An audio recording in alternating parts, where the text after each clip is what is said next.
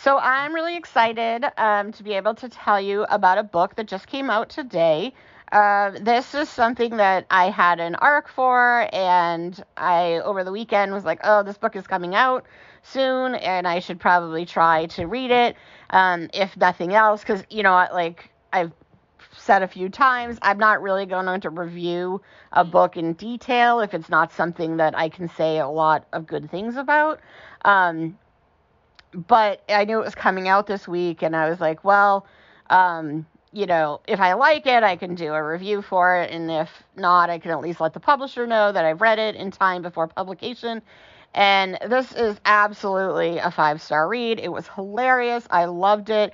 I didn't even think I like I wasn't even that interested in it. I was just like, eh, I might as well read it. It's something different. And I started it over the weekend because I thought, oh, I should get to it because, you know, the publication date's coming up. And honestly, like, read it in an afternoon, loved it. Um, so the summary of the book is called Old Boys by Nick Spalding. Um, and I definitely want to try to check out more by this writer because it's hilarious. Um, and so I, I don't know if like his writing style is the same in other books. Um, but the summary is in this hilarious and heartfelt story from the best-selling author of Dry Hard, Will hasn't seen his rock star dad for 30 years, but now he's back for an encore. Will Fairweather is getting old. His back aches, his bowels misbehave if he eats spicy food, and he's completely lost his sense of rhythm. Life has taught him not to take risks, but even that hasn't stopped his marriage hitting the rocks, too. The last thing he needs is a surprise call from Red Fairweather, devil may care rock god, and the father Will hasn't seen for 30 years. If Will's old before his time, Red's the boy who won't grow up. When Will needs somewhere to live with nowhere else to turn, he finds himself back with the Hellraiser who deserted his family. As Will tries to come to terms with the downward spiral of his life, he starts to realize there's more to Red than he thought. There's a real human being under all that leather and attitude, a dad determined to make up for lost time and help his son get back on track. Can Will make his peace with a father seeking forgiveness?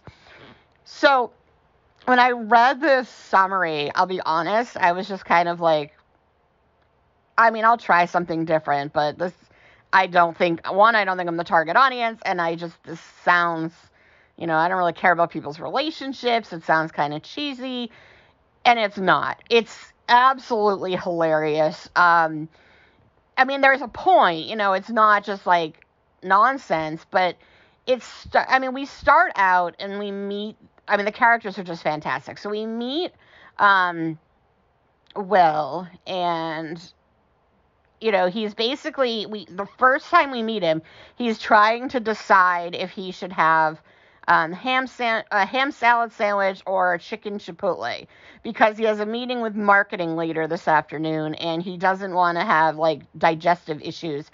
And he's disappointed because he'd really like the chipotle but he feels like it's too threatening and too much of a risk.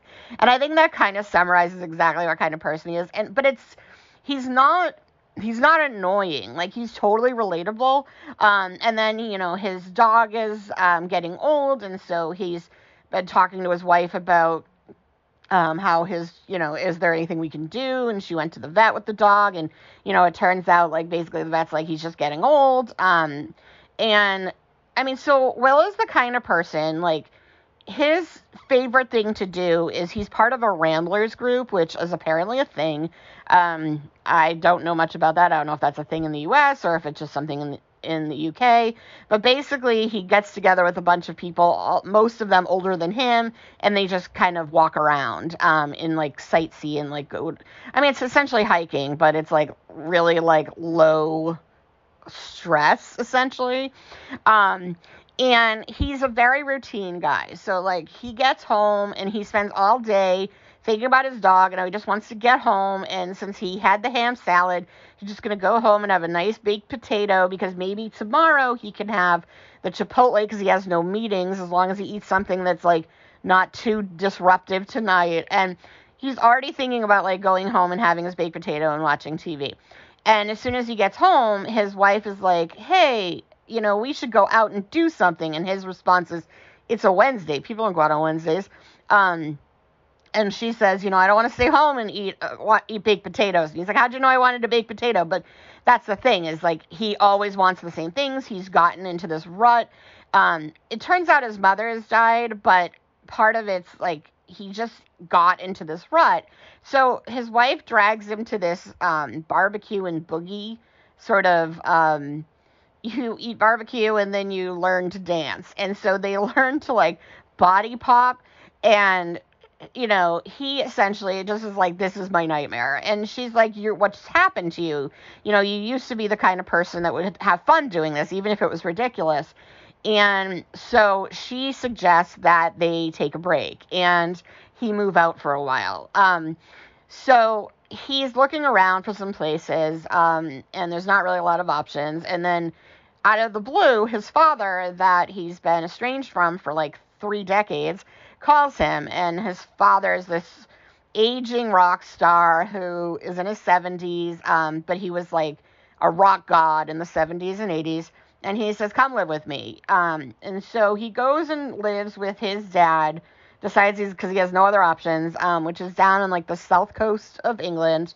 Um, and this kind of like small beachy town.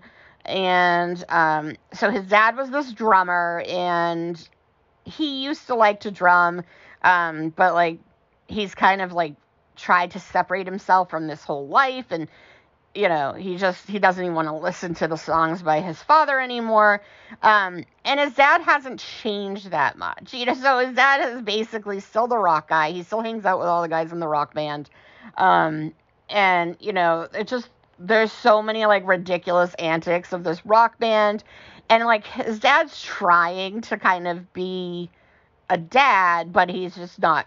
He doesn't know how, you know, because he's always been this just like rock star, and um, so I mean, there's just total chaos. Like there's, I mean, there's a llama at one point. He has this um, assistant that his name is like David Trafford, but um, for some reason he called him Borkins once, and since like he got hired and I, the guy like basically tried to correct him and he just wouldn't listen. So he still calls him like Borkins. Um, and he's around and he's really funny. Um, it's just it's a subtle funny. It's definitely like that British humor. So if you like that, um, you know, I, I, it's hard to explain, but basically, like if you like that style, it's very very funny. Um, but it is heartfelt too. Like there is some, you know, actual like reconciling with your parents, like dealing with the fact that you're aging, recognizing that, you know, that normal kind of fear as you get older, like, oh, I just got to take care of myself and I have to be careful and I can't take risks because, you know, I have to be mature and responsible, but balancing that with the fact that at some point, you know, when you become too risk averse, like you essentially like aren't living, you're just surviving. And you know, there's always something that's a threat and always something that's a risk. And so, you know, finding that ability to still find joy and, you know, um like do ridiculous things um, no matter how old you are. And so, you know, this is one of those books that I absolutely like I very rarely am like, oh, I'd like to see this as a movie, um, because usually I just feel like the you know adaptations don't go as well. But I could absolutely see this as a very very good movie. Um, and I don't know if it's just because like Bill Nighy plays essentially that like aging rock star in Love Actually, but like I can totally picture him um, in that role, and you know so some like mid 40s. I want to say Colin Firth, but he's like almost the same age as Bill Nighy now, so he can't really be his son. Um, but yeah, it's just it's hilarious. So go check it out. It is available now. Um, it is, and if you have Kindle Unlimited, it's gonna be free. I don't know how long, but it's free on Kindle Unlimited right now. So um, even more reason to check it out. It's awesome. Five stars, absolutely Loved it. Um, I mean, I haven't read a lot of things like this, but I, I just thought it was a lot of fun. Didn't want to stop reading it. Really loved the characters. Really loved everything about it. So, um, yeah, go check it out. It's out now, and hopefully you enjoy. Bye.